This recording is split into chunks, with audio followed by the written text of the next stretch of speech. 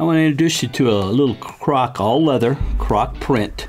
A very nice looking women's shoe. It has all the different widths, has a removable footbed, as you can see, so you can put any form of insert you want. Has a little raised toe to it, has a little fuller. Most women, what they consider a dressy shoe, don't have the full, as full of a toe box from that aspect. Strong midsection, and again, I two fingers, I can't collapse the heel, so you don't have bilateral movement. Got a great grip bottom.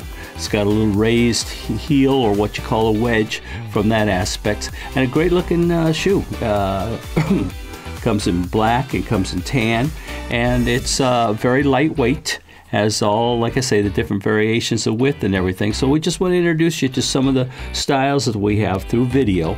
And if you have any comment, just fill it down below and if you want to talk to us personally, then email us or fax us, or uh, can't fax us, but text us and um, you know call us, and we'll be glad to help you and to explain shoes and situations and everything else from that point.